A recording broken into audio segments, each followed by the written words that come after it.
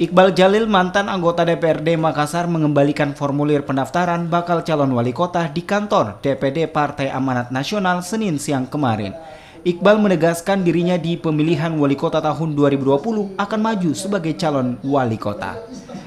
Bekal sebagai wakil rakyat di DPRD Kota Makassar selama 10 tahun dianggap sebagai modal yang cukup bagi Iqbal untuk mengembang amanat warga Kota Makassar sebagai calon wali Kota Makassar. Alasan pertama adalah uh, sudah selesai saya di DPR, sudah pengalaman dua periode. Yang kedua, saya merasa bisa lah untuk bertarung. Apa apa yang menghalangi saya untuk tidak menjadi 01? Saya mau tanya, apa yang menghalangi saya untuk tidak menjadi 01?